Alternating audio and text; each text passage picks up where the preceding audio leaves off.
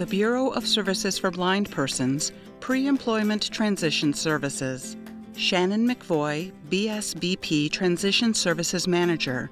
We're trying to make the transition process for our students flow a lot smoother. Shots of students listening to a device on a horse farm, participating in an activity at Camp Transition Zone so that once they leave school and they come to agencies like the Services for the Blind, they have some good ideas of what they're good at, what their interests are, and what types of things they might like to be doing after they leave school. Taylor, a student. BSBP will provide you the opportunities that no other agency will, as meaning employment, job searching, training, seminars, conferences, you name it, they have it. Rachel, a student.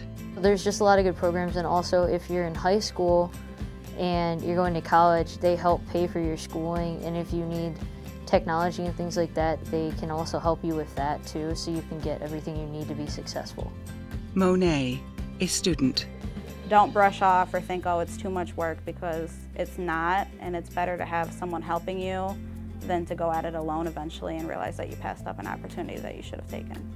Shots of camp activity students in Horse Barn. The pre-employment transition services were introduced by the Workforce Innovation and Opportunity Act and what the legislation did was provide the Bureau of Services for Blind Persons opportunities to provide a lot of additional services to our students with disabilities. The pre-employment transition services are job exploration counseling, work-based learning experiences, counseling on post-secondary options, workplace readiness training, and self-advocacy skills.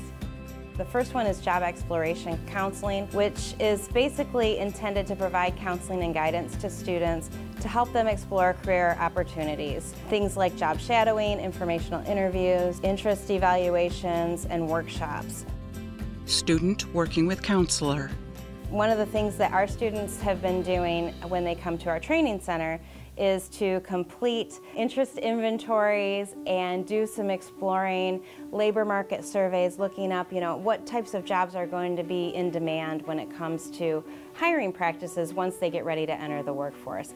So that's really important as well because we want to make sure that our students know what jobs are going to be available to them, especially if they go on and get a college degree. We want to make sure that they understand the workforce, look at their interests, and also look at what's available work based learning experiences. Statistics show that students who have one or more work experiences while they're in school are more likely to become employed once they leave school. Students working in horse barn and office. We want to make sure that our students are either volunteering, doing a paid work experience, having a internship, anything basically where they're out there actually doing work. I just feel like when I'm at this work experience, I have the freedom to be able to go to work by myself without having somebody to drive me and I feel like I'm able to be very independent with the tasks that I carry out.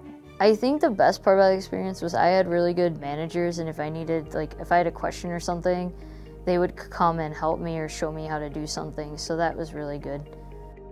Self-advocacy is one of those skills that is very difficult for a lot of our clients. A lot of the students that we work with have teacher consultants for the visually impaired that are working with them. They have paraprofessionals that are assisting them in school.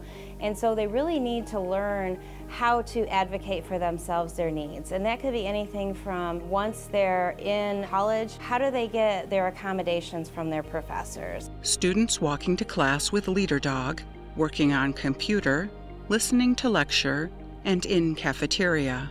It could be on the job accommodations that they need. Or it could just be simply telling people that, you know what, I don't need help with that. And how do you do that when you are in a situation where somebody wants to help you and you don't necessarily want their help? If you don't tell people, they're not going to be able to uh, help you the way that you might need. So I am very big on self-advocating. If I can't see something, if you're using the wrong color marker, I will ask because in order to get what you need, you have to, to advocate and it's not something that you should be ashamed of. You should be proud of who you are.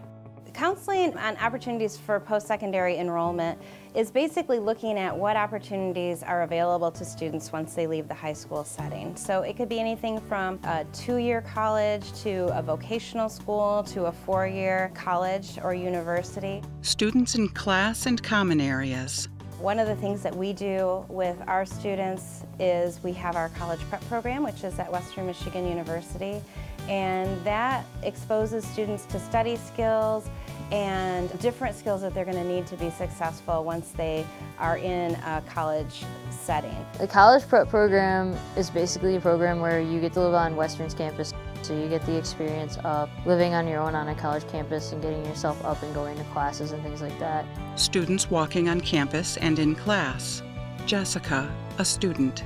This is just a great learning experience for anyone with a visual impairment because the campus is not super accessible in a lot of different ways.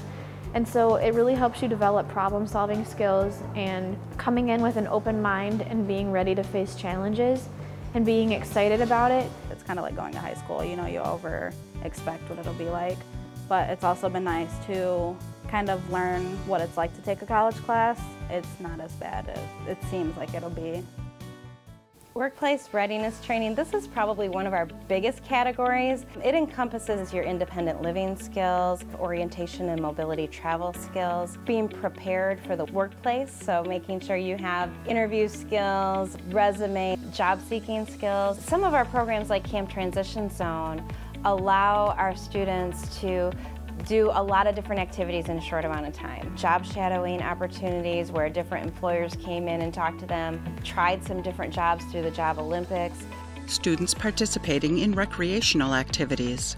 They also were able to do some team building activities because you have to be able to be a part of a team in order to be successful in the workforce. How do you work together and figure things out? Problem solving, self-advocacy, a lot of the skills were interwoven into the components of that camp.